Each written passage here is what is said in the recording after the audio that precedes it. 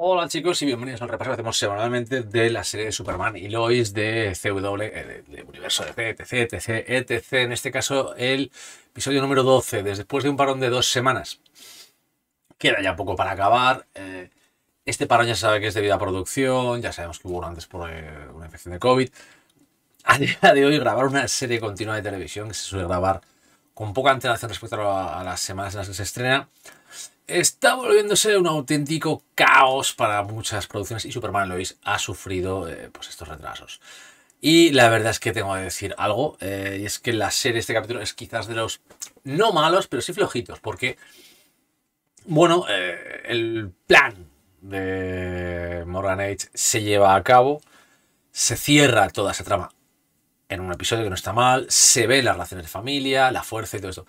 Remachan demasiado todo lo que hemos visto durante toda esta temporada, la familia, la importancia de qué es, quién es Superman, por qué es Superman, la diferencia con el mundo de John Henry Irons, de Steel, que es una de las personas que vuelve, y realmente a la larga eh, pierde un poquito eh, el concepto cuando ya lo remachas tantas veces, lo rematas, lo, re, lo renombras. En este caso, en este capítulo, como casi se centran en esa temática muy cerca, pierde, ¿vale? Sí que cierran eh, toda esta parte de Morgan Age, eh, cierran toda lo que fue la trama principal de toda la serie, que luego hablaremos con spoilers de otras cositas. Pero el tema es que con este cierre, más o menos llegamos a un punto en el que la serie se estabiliza después de bastantes combates, personajes que misterios que aparecían y desaparecían, que entraban, volvemos a tener una calma, ¿vale? ¿Para qué? ¿Para un cierre espectacular? No lo sé. ¿Para algo muy grande? Puede ser. ¿Para eh, un final anticlimático? Ostras, es que en ese caso mal, ¿eh? Iríamos muy, muy mal. Pero realmente no lo sabemos, así que vamos a ver para dónde avanza todo esto. El capítulo bien, la verdad es que va a tener un nivel muy alto. Y lo más importante siempre es que es una de las mejores presentaciones en audiovisual que se ha hecho jamás de Superman. Con los valores, la forma de pensar, de actuar, de tratar, de ser de Superman y se mantiene.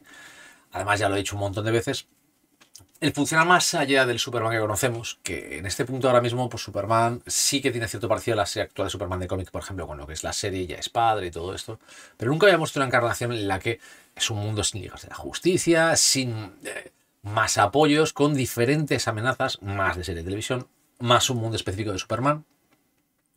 Y cambia, cambia mucho. De hecho, hemos visto un mundo en el que Superman acaba volviéndose malo o eh, llevándose por sus raíces kryptonianas conquistadoras. Que como ya sabemos, eh, cuando aparece esa parte kryptoniana o el kryptoniano sin la parte terrestre humana, no es Superman, por mucho que nos empeñemos. Es Kal, él, y ese símbolo que lleva en el pecho, si os dais cuenta, cambia. No es la S que conocemos, no es la de Superman, no es la de la esperanza, sino son otros símbolos normalmente oscuros. Ese traje negro y metalizado no significa normalmente eh, los valores que defiende este salvador de gatitos que les gusta hacer a la gente. Es que es un Boy Scout. Yo no soy muy del Boy Scout, nunca he sido de Superman.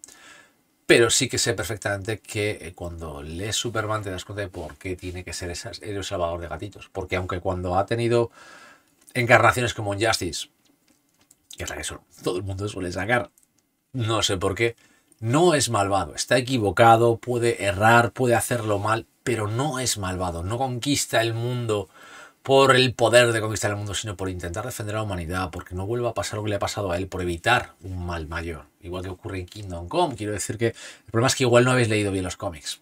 Aquellos que decís que el Superman malvado existe y debería ser porque es más realista. Joder, hasta en encarnaciones como Supreme Power, eh, ese personaje realmente llega un momento en el que tiene dudas morales, muchas, y cambia, pero es otro mundo, por ejemplo, diferente en el, con otra forma que Siperión. Pero bueno, vosotros mismos en cuanto a eso. Yo me quedo con el Superman, que es la encarnación normal de Superman, e incluso en otros mundos, esos Elseworlds, sigue siendo ese Superman.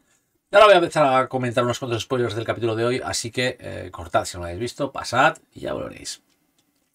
Como siempre, 5, 4, 3, 2, 1. Empezamos los spoilers. El final es muy bestia porque te dice que no ha acabado. Hay una gran bomba ahí esperando. Hay un final que tiene que ser una gran traca. Ese momento final, ese guiño cuando Morgan Age eh, oye eh, a su padre decirle que ya tiene que funcionar con el radicador, que lo que estaba haciendo el radicador cargarlo de energía, no sé, porque esa explosión si es el misil o eh, la carga que ha lanzado el Erradicador. No se sabe, ¿vale? Todavía no se sabe. Me encanta que la personalidad kryptoniana que hayan querido meter para someter a, Superman haya sido Zod. Porque Zod es justo la antítesis de todo lo que puede ser Superman. Porque Superman es un terrestre y Zod es un kryptoniano puro. Como pudo ser Morgan Edge si hubiera nacido en el planeta, como su padre, estas mierdas. Quiero decir que todo eso responde muy bien. La entrada o el camello de, John Deagle de, está bien, es curioso, te recuerda que estuvo en Existencias Infinitas, toda esa época que todavía estaba por ahí Arrow, cuando tenías todo este multiverso que existe, funciona y tiene todavía cierto lazo. Te lo recuerdan porque todavía, a ver, no tenemos evento multiversal entre series estos años. No va a haber, bueno, ya sabemos que Supergirl adiós, Arrow adiós, Flash va camino de tener una caída, eh, Legends of Tomorrow va su bola. Quiero decir que no sabremos cómo acabará todo esto en cuanto al multiverso, a la época, al CW verso que se dice, o Arrow verso, como queráis llamarlo. Pero esta aparición por lo menos nos confirma que sigue teniendo ese cariño y esa idea de que todo está ahí. Ya veremos si vuelve a aparecer John Deagle esta vez quizás con quizás un anillo verde, que todo el mundo tiene esa gran teoría, no lo sé. Me gusta, como siempre, la relación de los hermanos eh, funciona. En este caso, la destrucción de la personalidad de Zod a base de pelear Superman, que le recuerden a su familia una y otra vez. Yo eso es muy remachar, pero sí que es necesario porque tienes que darte cuenta de todo eso. Tienes que darte cuenta que lo que diferencia a Superman de cualquier otro kryptoniano ya es desde su nacimiento. Sus padres se querían y se juntaron y salieron fuera de los matrimonios de conveniencia se hace de esa eugenesia. Por lo tanto, él ya es descendiente de algo diferente. Y se, cuando llega a la Tierra se confirma eso, que sigue siendo un Superman diferente, no es kryptoniano.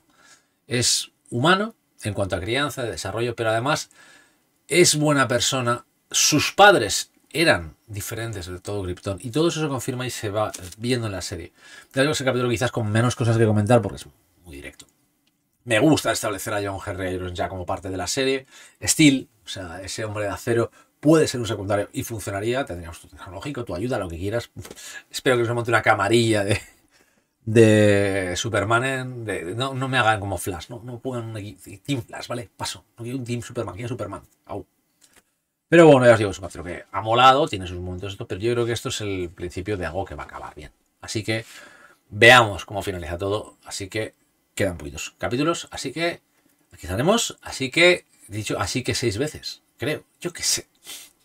Cuidaos. Nos veremos para el siguiente capítulo.